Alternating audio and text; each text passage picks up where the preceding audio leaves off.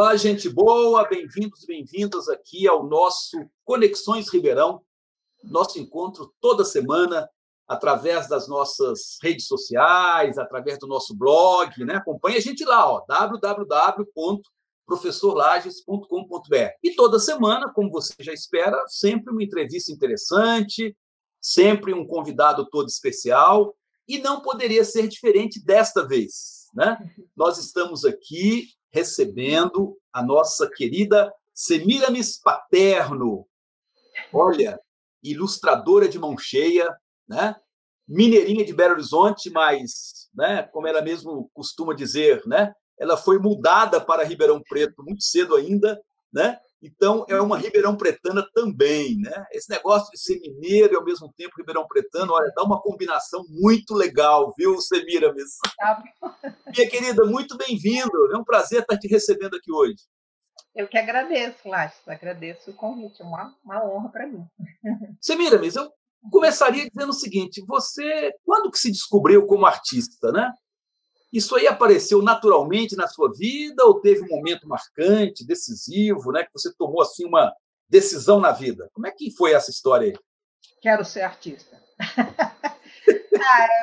Acho que é uma coisa que foi bem natural, assim, sabe, Lages? Eu, desde pequena, gostava muito de desenhar, é, eu, eu, inventava objetos, né? Eu pegava caixa de sapato, por exemplo, ou caixa de camisa do meu pai, e eu me lembro que eu construí uma vez uma casinha inteira lá dentro, assim, repartindo parede, fiz cama, e aí eu costurava também, então fiz o lençol, enfim. Na escola sempre participei de teatro, das coisas assim, né? E as, os colegas me pediam para desenhar no caderno delas e tal, né? E, e aí meu pai acho que percebeu isso e aos 12 anos me levou para fazer um curso de desenho acadêmico, né? Era um professor que tinha aqui em Ribeirão, professor italiano chamado Orfeu Branchini. E aí eu ia toda semana, eu tinha acho que 11, 12 anos, né?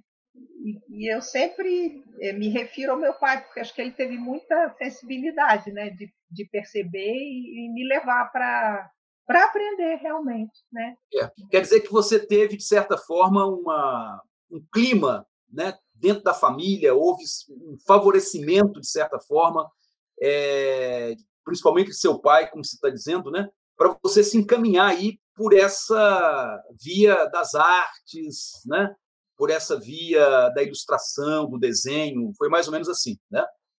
É, foi, porque lá em casa tinha muitos livros, né? Meu pai era um, um grande leitor, minha mãe também, hum, mas naquela época quem botava coisa em casa, além da carne, botava livro em casa. era meu pai, né? E, então ele comprava livros para ele de filósofos, né? De história, coisas assim, e comprava livros infantis para nós, né? Nós somos quatro irmãos é, então foi uma herança bendita, né? É, outro dia, outro dia eu estava falando aqui com o Sá da herança maldita, né? Mas tem a herança bendita também, né? E parece que foi o caso, né? É, é, então a gente sempre lia muito, né? Até nas férias, assim, eu pegava Monteiro Lobato e, e, eu me lembro que, além das histórias, eu ficava sempre muito encantada com as ilustrações, né? Eu tenho uma, a primeira edição do, do Monteiro Lobato infantil, com ilustrações do Leblanc. São ilustrações preto e branco, só a traço, mas elas são de uma beleza, de uma riqueza, de uma expressividade. Então eu mergulhava naqueles desenhos e ficava imaginando quem é que teria feito aquilo, se era uma máquina, se já vinha pronto, né? Como é que estava aquilo lá no livro, né? Eu não imaginava, né, que era um artista que desenhava, que criava aquilo tudo, né? Então, né, desde cedo. E aí, nas férias, eu continuava lendo, porque eu adorava. E o meu pai era esportista também, né? Ele jogava bote, gostava de ir para o clube. Aí ele falava: por que, que vocês não vão para o clube? O clube está aí do lado, a recreativa, né? Ai, pai, mas eu gosto de ficar aqui lendo. Oh, minha filha, vai para o clube. vai para o clube também, vai tomar um sol e tal. Enfim, era é. isso. Ô, Semiramis, é, você nasceu em Belo Horizonte, seus pais são mineiros. Tem alguma mineiridade? Não, não são mineiros? Não, meu, meu pai é de Ribeirão, os pais dele eram italianos, vieram para o Brasil com 15 anos. E meu pai nasceu aqui. E a minha mãe era do estado do Rio, morava numa fazenda.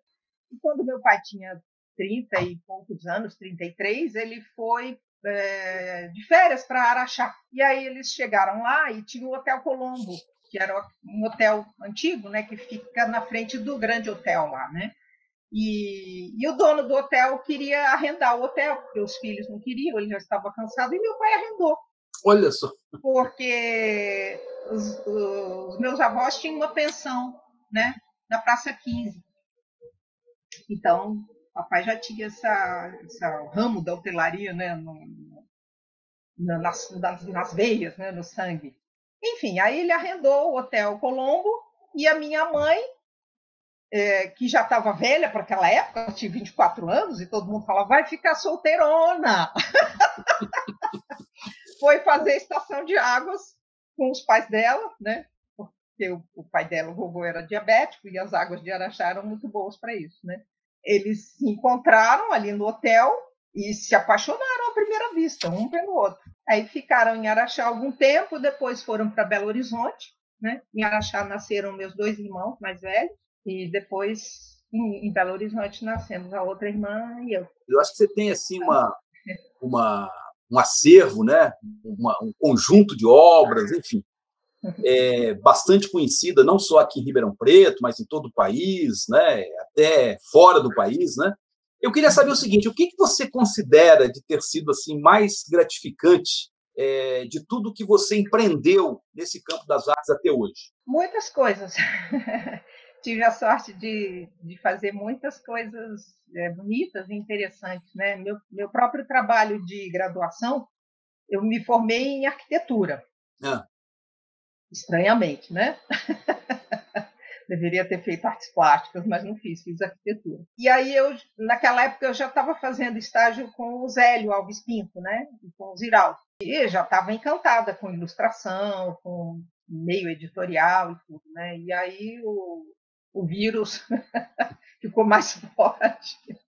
Já, e... tem, já, já, tinha vírus naquela época, né? Já tinha vírus de ilustração, enfim.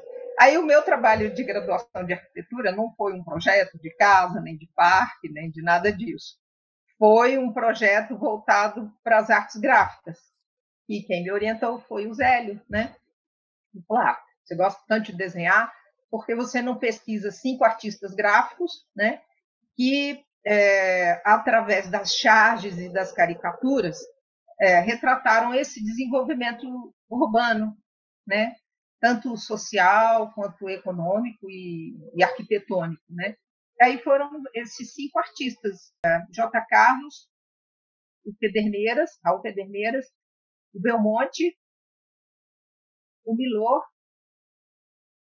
e o Zélio, né? Agora, revendo isso, eu vi que eu já era meio maluca, né? Porque era um, eu fiz uma, um trabalho grande, todo sanfonado, Cinco, né? Que... É, cinco artistas. Era bastante gente.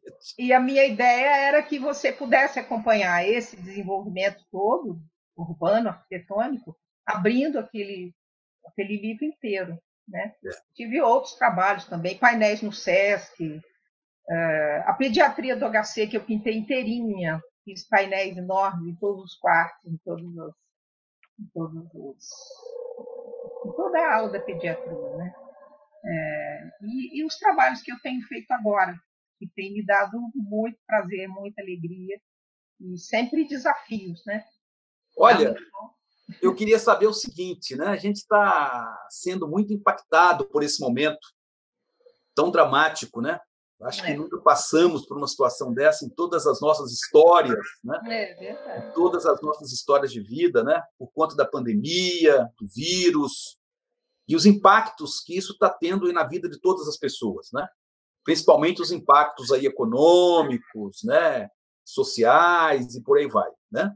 Uhum. Eu queria saber de você o seguinte: você que já trabalhou tanto, né, com tantas editoras, Editora Abril, Editora Lê, Moderna, FTD, Saraiva, as grandes editoras aí do país já contaram aí com o seu trabalho, com sua participação. E nós estamos vendo agora essa tendência de levarmos tudo para o digital. Aliás, é, antes mesmo da pandemia, você já tinha uma tendência forte, muito forte nesse sentido, né? E de repente isso só radicalizou de certa forma, e, enfim, a gente está vivendo esse momento, né? Em que o trabalho, as formas de trabalho estão se modificando, né? Com essas novas tecnologias e por aí vai, né? Exatamente. O que eu queria saber de você é exatamente isso, né? É, olha, até lembrando agora, né, mais recentemente aí, a notícia que saiu da Livraria Cultura, de grande tradição, fechar mais da metade de suas lojas no país. Né? É, uma tristeza. Como é que você vê esse momento, Semiramis? Como é que você está encarando isso? Eu acho uma tristeza total, né? Principalmente porque eu não sou fã do digital, né? Eu gosto de livro, de papel, né? Mais bonito, mais gostoso, tem cheiro. Dá para pegar, né? Dá para pegar. É. Ribeirão também, né?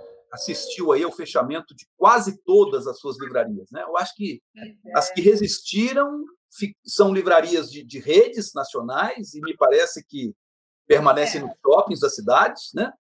É, eu acho, eu estudando história de Ribeirão Preto, história cultural aí, no início do século XX, nós tínhamos mais livrarias em Ribeirão Preto do que hoje. Eu acho que esse é o movimento que existe, né? Eu, eu, eu só não, não acho que a cultura e a educação tenham que regredir por causa disso, né?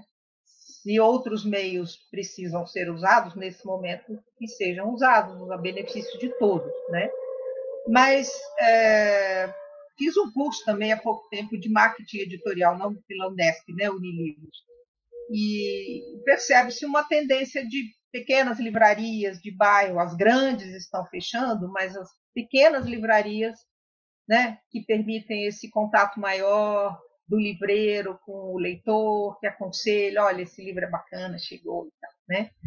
E, e assim, eu acho que é uma resistência mesmo, né, das editoras. Então, pequenas editoras estão surgindo, né, é, que são trabalham de maneira mais independente, não tão comercial, mas que continuam trazendo o livro de papel.